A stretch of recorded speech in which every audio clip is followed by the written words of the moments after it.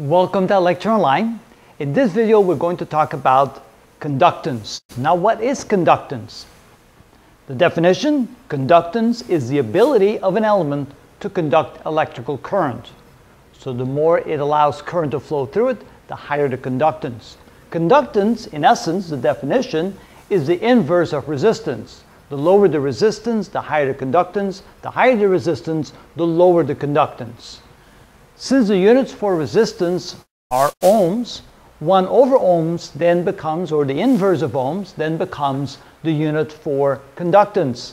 It's actually the ohm symbol upside down, and we call it the mho. The mho is ohm written in reverse. A more standard unit for conductance is the Siemens. We use the symbol S for the Siemens, and therefore 1 mho is equal to 1 Siemens, and the definition of a Siemens or a mho is 1 amp per volt, the amount of current that can flow per unit volt that's applied to the circuit.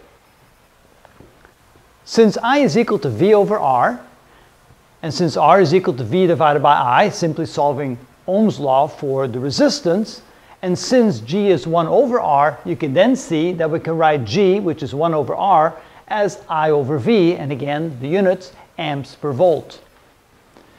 Since power dissipated is I square R, and using Ohm's law, we can also write it in terms of I times V, or V squared divided by R, we can then say that power is I times V, and since G is I divided by V, we can then replace I by G times V, so we can solve this equation. We can then write I is equal to G times V, if we substitute that in for i here, we get g times v squared.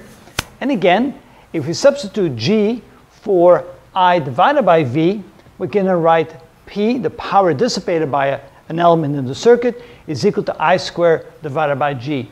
So those are different ways in which we can look at conductance and how conductance is related to Ohm's law and the power dissipation equation. Again, conductance, the inverse of resistance, the higher the resistance, the lower the conductance. The lower the resistance, the higher the conductance. And that's what we mean by conductance in the circuit.